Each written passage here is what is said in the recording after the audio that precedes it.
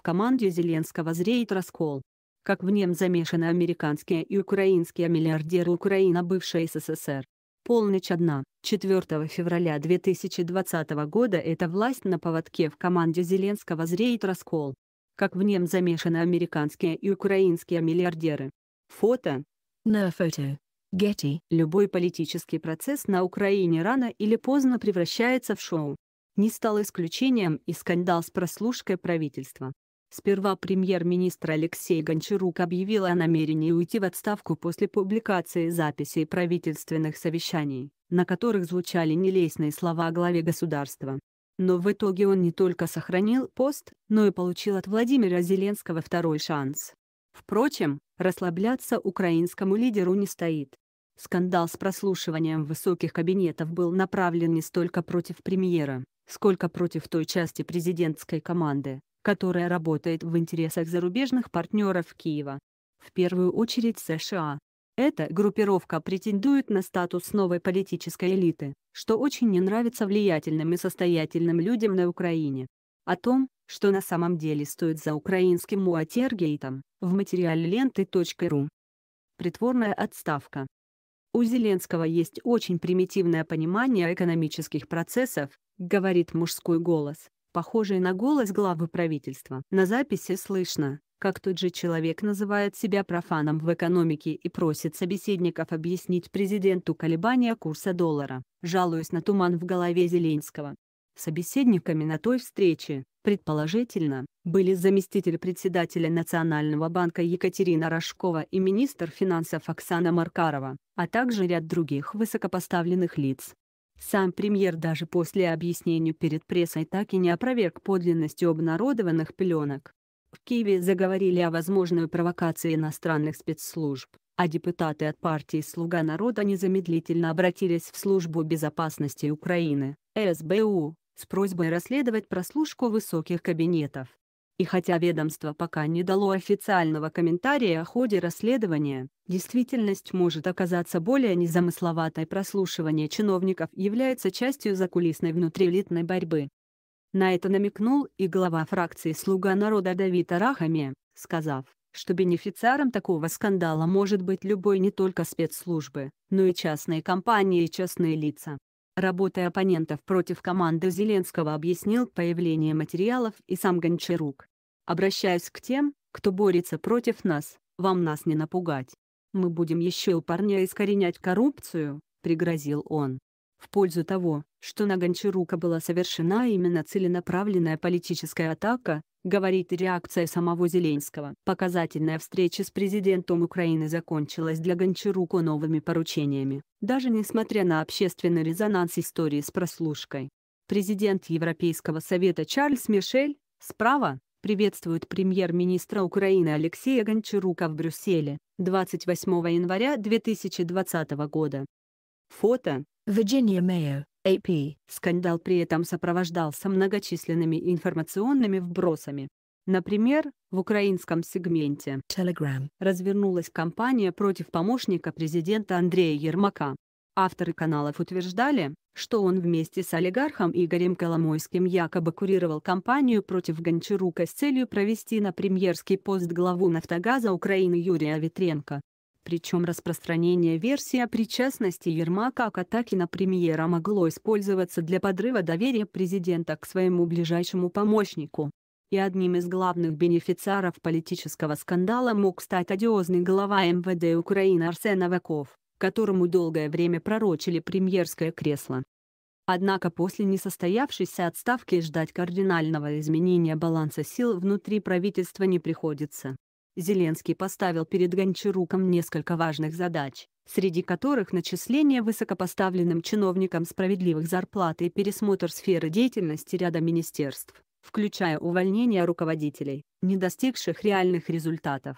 У нас было объединение некоторых министерств, Вначале это было правильное решение, потому что у нас профессиональный, кадровый голод и небольшой бюджет. Мне кажется, время показало, что некоторые министерства должны быть разделены, заявил глава государства. В комментарии ленте.ру эксперт Российского совета по международным делам Александр Гущин рассказал, что даже после скандала с прослушкой убрать все правительства не получится. Речь может идти о разъединении, дроблении отдельных ведомств с целью сделать министрами новых людей, более управляемых президентом, но и это будет трудно в условиях зависимости от МВФ, скорого голосования по рынку земли и тех обещаний, которые наверняка давались Зеленским в обмен на его поддержку на Западе еще в период выборов. Хотя косметические изменения возможны, отметил политолог. План реформирования правительства пока неизвестен.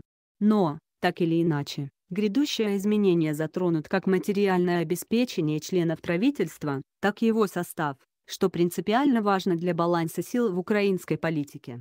Уже известно, что, вероятнее всего, своих постов лишатся министр экономики Тимофей Милованов и министр культуры Владимир Бородянский, которые в последнее время подвергаются острой критике со стороны оппозиции и украинских СМИ. Это существенно ослабит позицию премьера, а значит, и влиятельной прозападной группы в правительстве так называемых «соросят». Группы с хорошими грантами. Прозвище «Соросята» и «Грантоеды» украинские журналисты придумали для выходцев из различных некоммерческих организаций, НКНО, финансируемых как структурами миллиардера Джорджа Сороса и транснациональными компаниями, так и напрямую официальным Вашингтоном. Именно к американскому лобби относят украинского премьера, как и целый ряд иных членов Кабинета министров Украины, среди которых генеральный прокурор Руслан Рябошапка, а также министр образования и здравоохранения Анна Новосад. Сам Гончарук до прихода в правительство с 2015 года возглавлял общественную экспертно-аналитическую организацию Офис эффективного урегулирования. Better Regulation Delivery Office, BRDO. Она создана на средства Министерства международных дел Канады в рамках проекта помощи EDGE, который, в свою очередь, финансируется по Соросовской программе поддержки международной демократии. За офисом стоит продвижение на высокопоставленные посты десятков общественных экспертов в украинские ведомства. Еще в 2015 году в команде BRDO, одновременно работали многие нынешние помощники министров и два члена нынешнего правительства, помимо самого Гончарука, министр юстиции Денис Малюска и министр энергетики и защиты окружающей среды Алексей Аржель. Джордж Сорос фото Ronald Sack, AP. это не совпадение. Различные международные неправительственные фонды превратились чуть ли не в основных лоббистов громких назначений после Евромайдана и провозглашения курса на евроатлантическую интеграцию Украины. Да и сам Сорос не скрывает, что среди всех своих проектов больше всего гордится достигнутым успехом именно на Украине. Ведь благодаря финансовой помощи мецената в эшелонах украинской власти сегодня сконцентрировалось значительное число людей, так или иначе связанных с фондом миллиардера Возрождения. При этом американский филантроп, несмотря на свои 89 лет, до сих пор проводит регулярные встречи со своими доверенными лицами на Украине. Многочисленные соросята превратились в пускай и неоднородную, но авторитетную силу украинского политикума. Занимая руководящие посты, выходцы из западных НКНО принимают важнейшие решения, далеко не всегда руководствуясь при этом чаяниями простых украинцев. Политолог и главный редактор издания Capital.ua. Вячеслав Чичила считает, что соросята связаны в первую очередь с американскими финансовыми кругами, прежде всего представленными Демократической партией, но которые в то же время в определенной степени находятся над американской двухпартийной системой.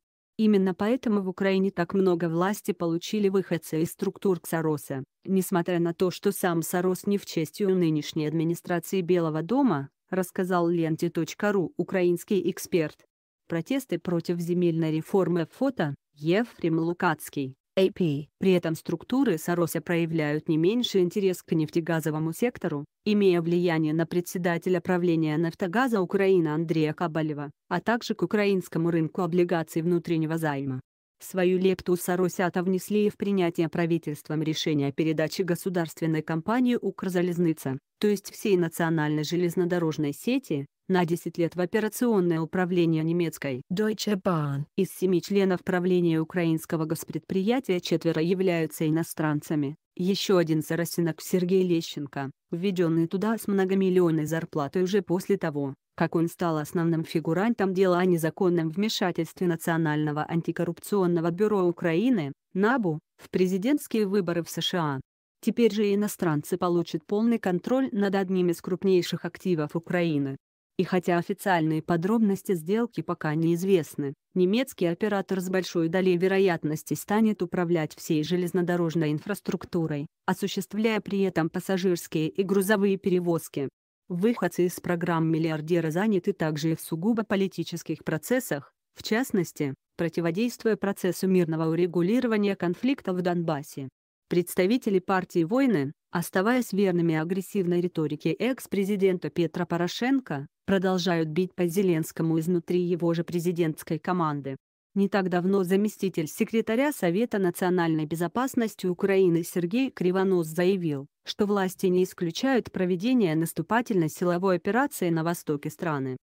Лидерам «Слуги народа» пришлось спешно объясняться перед журналистами, дескать, в команде президента на ситуацию смотрят иначе и никакого плана войны в Донбассе нет и не предвидится. Как бы то ни было, прозападное лобби выступает против любых попыток проведения выборов в регионе осенью 2020 года, о чем заявляла и глава фонда Возрождения Ольга Айвазовская. Дать оккупантам на Донбассе шанс переформатироваться в политические силы – это плюнуть на собственную конституцию, пояснила она свою позицию, которая для современной политической элиты Украины стала обычным взглядом на проблему реинтеграции восставшего региона. Джо Байден и Петр Порошенко фото, Глеб Гранич, Reuters. Впервые степень вмешательства США в украинскую политику обнажил коррупционный скандал вокруг украинской нефтегазовой компании Burisma Holdings. В 2016 году тогдашний президент Петр Порошенко по прямому указанию вице-президента США Джо Байдена отправил в отставку генерального прокурора Виктора Шокина. Впоследствии уволенный рассказал, что летом 2015 года экс-посол США на Украине Джеффри Пайет оказывал давление на него с целью повлиять на прекращение дела против Burisma. от которой сын Байдена Хантер получил миллионы долларов за время работы в наблюдательном совете компании, в том числе благодаря возможному вмешательству отца. Сейчас же основное влияние на украинские структуры оказывают американские государственные органы и посольства США, не стесняющиеся публично осуществлять контроль даже над Генеральной прокуратурой Украины, ГПУ. Чего только стоит официальное признание причастности Вашингтона к реформе ведомства и обращение генерального прокурора Рибашапки к американским дипломатам с просьбой помочь в поиске кандидатур для кадровой комиссии ГПУ. Под колпаком у США находятся и другие правоохранительные органы, в частности, НАБУ во главе с Грантаидом Артемом Сытником, замешанным в деле о возможном вмешательстве Украины в выборы президента США. Немалое влияние Вашингтона испытывает и СБУ, в настоящее время реформируемая по рекомендациям представителей Соединенных Штатов. Важными фигурами в системе контроля над Украиной остаются заместитель помощника госсекретаря США по делам Европы и Евразии Джордж Кент и руководитель проектов по Украине Института оборонных исследований Министерства обороны США Мартин Нейл, курирующий вопросы украинского военно-промышленного комплекса. Именно Кент являлся одним из создателей антикоррупционных органов на Украине, ставших инструментом контроля над постмайданной элитой. В то же время правоохранительные структуры одновременно находятся под влиянием и негосударственных западных сил. Так, бывший заместитель главы администрации экс-президента Украины Виктора Януковича Андрей Портнов рассказал о возможной причастности Соросовского фонда «Возрождение» к расследованию убийств во время Евромайдана. Как утверждает источник юриста, за выполнение специальных поручений по делам о преступлениях на Майдане в 2013-2014 годах иностранная организация целенаправленно финансировала украинских следователей и прокуроров. Фото – пресс-служба администрации президента Украины. Медленно, но верно грантоеды превращаются в новую политическую элиту Украины, присутствуя на важнейших государственных должностях, где помогают США проводить собственные интересы. Среди них можно вспомнить и журналиста Мустафу Наема, получившего должность в Укроборонпроме, и главу украинской делегации в ПАСИ Елизавету Яська. Клановое хозяйство. Борьба новой элиты за финансовые и властные ресурсы, как показывает скандал с прослушкой, только начинается. Несостоявшаяся отставка премьера в очередной раз продемонстрировала, что президентская команда состоит из различных жестко конкурирующих между собой групп влияния. Ее представители пока еще продолжают осторожничать, понимая все последствия открытого конфликта. Распад коалиции в Верховной Раде может породить политический кризис и досрочные парламентские выборы, результат которых непредсказуем. Тем не менее конфликт в рядах президентской партии усугубляется. Ведь стройность рядов слуг народа нарушают не только Саросята. К группе грантоедов относят и украинских политиков, связанных с олигархом Виктором Пинчуком, близким к Демократической партии США. Еще во время событий Оранжевой революции 2004 года его стали называть главным проамериканским лоббистом на Украине. Именно ему принадлежит продвижение партии «Голос» вокалиста группы «Океан» Ильзи Святослава Вакарчука. И хотя политсила музыканта находится в оппозиции к власти, это не мешает Пинчуку иметь своих людей в правительстве. В частности, таким является министр культуры Бородянский, ранее возглавлявший медиахолдинг олигарха Starlight Media. Закрытое совещание у президента Украины, справа от Владимира Зеленского, во главе стола, олигарх Игорь Коломойский, слева глава администрации президента Украины и бывший юрист олигарха Андрей Богдан, рядом с Богданом премьер-министр Алексей Гончарук. Фото. Reuters. Наконец, одна из влиятельнейших сил неформальная парламентская группировка Коломойского, наиболее яркими представителями которой являются Максим Бужанский, журналист Александр Дубинский, глава налогового комитета Рады Данил Гетманцев, а также генеральный директор телеканала 1 плюс 1 Александр Ткаченко основной кандидат от власти на пост мэра Киева. Именно между группами Павлюка и Коломойского проходят, пожалуй, наиболее глубокая линия раскола, поскольку таможенники часто выступают в поддержку законопроектов, выгодных другим олигархам, прежде всего Ренату Ахметову. Однако с ослаблением павлюковцев и переходом части депутатов в группу Коломойского его Днепропетровская группировка начнет активнее конфликтовать с руководством фракции и соросятами. Основным фактором сдерживания разнородной массы безликих для народа слуг до сих пор остается все та же фигура Зеленского и его личная популярность. Но затяжная внутренняя конфронтация начинает негативно сказываться на главе государства, которому будет все сложнее сохранять свою электоральную поддержку. Скандалы последних недель и давление оппозиции привели к падению рейтинга Зеленского до рекордно низкого уровня, впервые достигнув отметки менее чем в 50%. И тем не менее, политолог Чичела отмечает, что личный рейтинг президента держится на вполне приличном уровне. Все потому, что избирателей волнуют прежде всего простые и понятные для него вещи и зарплаты, цены, курс доллара, не нужно переоценивать влияние медийных скандалов на рейтинг власти, считает он. За скандалами и разборками в высших эшелонах граждане, конечно, следят. Как следили при Януковиче или Порошенко. Но воспринимают их как привычный для Украины политический цирк, а в этот раз это цирк, за который они лично не платят. А к бесплатному зрелищу отношение все же куда более поблажливое, чем к тому, за который ты заплатил из своего кармана. Кроме того, избиратель пока разделяет Зеленского и тех, кого называют его командой. Решение оставить Гончарука на посту премьера объясняется желанием власти послать простой месседж избирателям. Смотрите, нам сложно, против нас ведут информационную войну, но мы все равно едины и работаем на благо украинцев. На публичной встрече с премьер-министром Зеленский особо подчеркнул, что сейчас не то время, чтобы расшатывать государство экономически и политически. Относились ли эти слова непосредственно к Гончаруку или же к людям, активно работавшим над его отставкой, неизвестно.